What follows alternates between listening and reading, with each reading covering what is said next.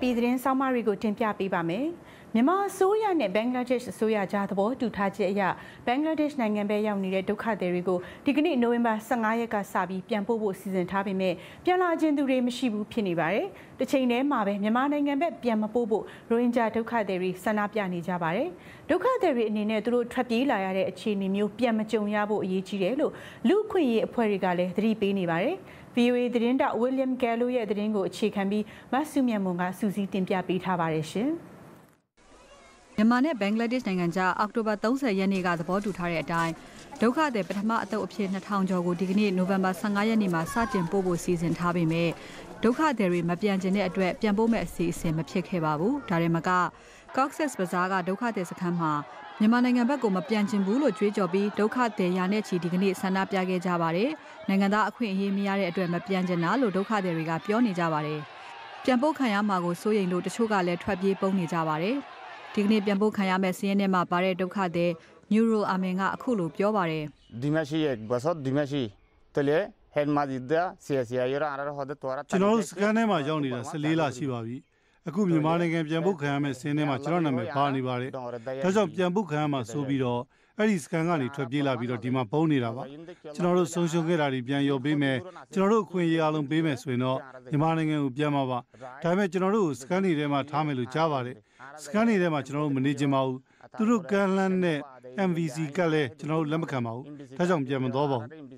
2019ခုနှစ်ကနေဆက်ကင်းစခန်းတွေကိုအာဆာအကြမ်းဖက်အဖွဲ့တိုက်ခိုက်ခဲ့ပြီးတဲ့နောက်မြန်မာလုံခြုံရေးတပ်တွေနယ်မြေရှင်းလင်းစဉ်မှာထွက်ပြေးခဲ့သူတိန့်ချီတွေကဖြစ်ပါတယ်။ကုလသမဂ္ဂစီရင်အရ9သိန်းထက်မနည်းရှိတဲ့ရိုဟင်ဂျာဒုက္ခသည်တွေမြန်မာနိုင်ငံဘက်ပြန်နိုင်ရေးတိုက်တွန်းဆောင်ရွက်နေကြတာပါ။ မြန်မာနဲ့ဘင်္ဂလားဒေ့ရှ်အစိုးရကြားဒုက္ခသည်ပြန်ပို့ရေးသဘောတူလိုက်ပေမဲ့ဒုက္ခသည်တွေကိုပိုင်ဆန္ဒနဲ့ပြန်နိုင်ဖို့အရေးကြီးတယ်လို့လူ့အခွင့်အရေးအဖွဲ့တွေကထောက်ပြနေကြပါတယ်။“တရားမျှတမှုနဲ့သူတို့ကြောခိုင်းခဲ့တဲ့ပြည်ပခအခြေအနေမျိုးပြန်မြောက်စေရဘူး။ဖိနှိပ်နှိပ်စက်မှုတွေထပ်ပြန်မခံရပါဘူးဆိုတဲ့အာမခံချက်လိုပါတယ်။ခုထိတော့ဒီအာမခံချက်တွေပေးနိုင်တဲ့အခြေအနေမရှိသေးပါဘူး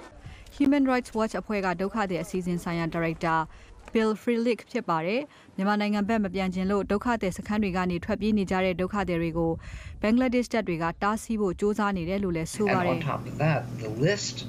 that was provided between the Bangladesh ဘင်္ဂလားဒေ့ရှ်တာဝန်ရှိသူတွေမြန်မာကိုပြီးတဲ့စင်းရကျုံတလူကြာပန်းရွေးထားတာပါဘင်္ဂလားဒေ့ရှ်အစိုးရဘက်ကဒုက္ခသည်ပြန်ပို့ရေးဆိုင်ရာအကြီးအကဲကိုကျွန်တော်မေးတော့ဒုက္ခသည်စီးရင်ကောက်ထားတဲ့ထက်ကဂျပန်ယူလိုက်တာလို့ပြောပါတယ်ဒုက္ခသည်တွေရဲ့ဆန္ဒမပါပါဘူး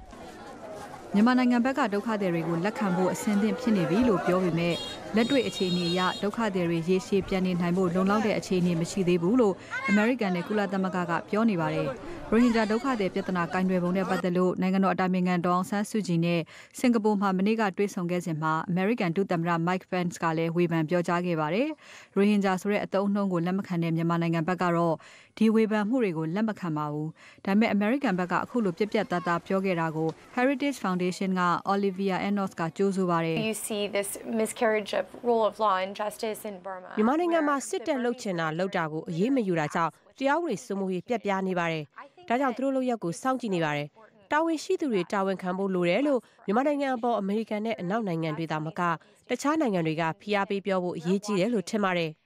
ဒုက္ခသည်ပြန်ပို့ရေးသဘောတူထားတဲ့ဘင်္ဂလားဒေ့ရှ်နိုင်ငံဘက်ကတော့သူတို့အနေနဲ့အတင်းအကျပ်ပြန်ပို့တာမျိုးမလုပ်ဘူးလို့ကြေညာခဲ့တယ်လို့ပြန်ပို့မဲ့စီးရင်တဲ့ပါသူတွေတကယ်ပြန်စင်မှပြန်နိုင်ရေးကူညီပေးဖို့ကုလသမဂ္ဂဒုက္ခသည်များကော်မရှင်နာမင်းကြီးရုံး UNHCR ကိုတောင်းဆိုခဲ့ပါတယ်ရှင်။